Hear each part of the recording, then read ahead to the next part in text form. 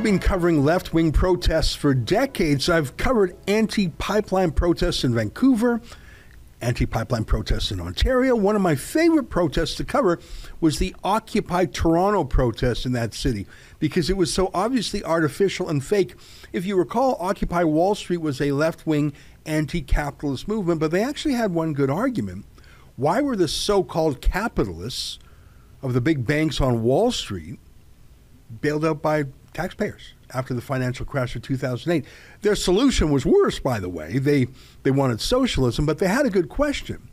The fact that one of Wall Street's richest oligarchs, George Soros, was bankrolling the anti Wall Street thugs was a, was a delicious irony. But in Canada, it was just weird because, as you may recall, not a single Canadian bank failed in the 2008 financial crisis. In fact, it was the unionized automobile sector, Canadian subsidiaries of U.S. mega corporations. They're the ones who got the massive taxpayer funding. But for some reason, the left wing protesters weren't directed at them. But you must admit it's weird to protest the bailout of failing banks in a country where no banks actually failed. It was fake, fake, fake. Here's some of what I saw at that phony event. Is that you, Dave? I'd like to continue the interview. I'm sure we can Yeah, yeah, somewhere yeah. else. Yeah. Hey, Dave, have you been charged with criminal proceedings? Dave, are you going to plead guilty?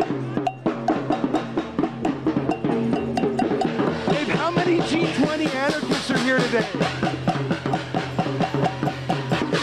Dave, are you the proud face of the environmental movement? Well, that was back when my life was simpler. I was a journalist for the Sun News Network. I wasn't a boss, I was a working journalist. Uh, these days, I spend too much time in the office managing the 60 or 70 people who work for Rebel News, so I don't do as much in the field journalism as I used to do or as I'd like to do. My solace is that we have an amazing team that collectively does 10 times more than I ever could do as one person. I mean, just for example, here's the lovely Alexa Lavoie at a protest the other day. De te faire enregistrer. Mais vous m'avez que des questions moi, sur j'ai ta pas personne, fait de ta con- vie Moi, je me suis pas concentrée. Allez-y. Si tu veux y aller, tu peux, mais, Non, on n'a pas touché à mon micro. mais arrête de le mettre dans les faces c'est gens dans ma gueule. qui te C'est disent vous non. qui est venu me voir. Ne touchez pas encore à mon micro. Arrête de le mettre dans la face des gens qui veulent pas parler. Qu'est-ce que tu Je, fais, là? je demande juste pourquoi vous venez ici. Pourquoi toi tu viens ici? Fait que toi, le une consentement, tu, tu comprends ça, le consentement? Oui, quand les personnes me passent, c'est le consentement. On part de loin, hein? On va continuer. We'll continue because some people are not happy. And uh, so we have some people who try to intervene, but I'm just here for asking questions and see the other side of the story of the people. But seems like people are not agreeing with that. They say that I should not be there and I'm not welcome and how I should like I'm able to sleep at night, but I'm just here to ask simple question to them. I didn't like the fact that the protesters were so aggressive towards her, and I'm reminded of our duty to provide security to our journalists, a regrettable duty, as Trudeau has normalized hostility towards us by setting an example of having his own personal bodyguards beat us up. What are you doing? Get, get off me! Hey, I can. Hey, this is assault. Move. I'm on a side. What is this? I'm on a sidewalk. I am on a side. What is this? You cannot touch me. No Russian word. Hey. Am I- Are you kidding? Are you kidding? Let go of me. What is this? You can't. uh, Am I under arrest? Am I under arrest? Am I under arrest? Because otherwise you have no right. I hate watching that. But my point is, I've been covered covering oil and gas and pipeline and mining and anti-capitalist protests for almost two decades. That's how old I am. And one of the most eye-opening things for me was that I saw the same professional protesters at each one. I got to know them by name, even. I'd see the same guy at an anti-mining protest, and then at the Occupy Toronto protest, and then the same people were out in Hamilton in an anti-pipeline protest, and then the same people were at an Idle No More protest. Same people, Same leaders. Now, the leaders knew a little bit about what they were doing, but the rent a mob did not. Some of them were literally street people who were paid 50 bucks to hold a sign for the day, 50 bucks and a hot lunch. They didn't have a drop of politics in them at all. Some of them were mentally ill people being used as cannon fodder. It's very sad. I remember one young woman, Trish Mills was her name. I still remember her.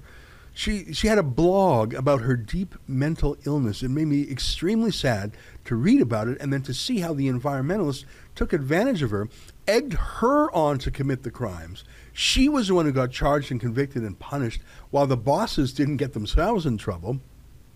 They literally used marginalized and damaged and mentally ill people as their weapons to commit political crimes for fundraising. It made me sad and mad, not just at the environmentalists, but at the media party, who obviously saw the same things I saw.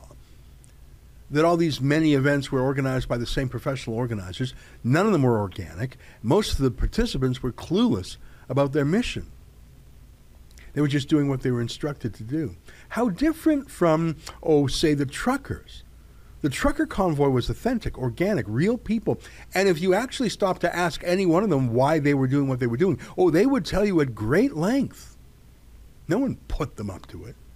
They had some leaders, but I'd call them more symbolic or spiritual leaders, like Tamara Lich. Yes, there were millions of dollars raised to pay for the truckers, but you'll recall very little, if any of it, actually flowed. They were seized by GoFundMe, then seized by the government, and when that wasn't enough, they actually seized the bank accounts of hundreds of peaceful protesters without court process. So it was the opposite of a bought and paid for campaign. It was penalized and punished. What you just saw was an excerpt from my nightly show, The Ezra Levant Show. Every weekday, I do a monologue. Usually it's about half an hour. Then I interview an interesting guest, and then we read my hate mail or my fan mail, whichever is more fun. It's only available behind a paywall, though. That's how we pay our bills here at Rebel News. We don't take a dime from Justin Trudeau. But the good news is it's only eight bucks a month, about half the price of Netflix, and in addition to my weekly, sorry, my nightly show, you also get weekly shows from four other friends here at Rebel News. So you're getting 36 shows a month just for eight bucks. I think it's worth it.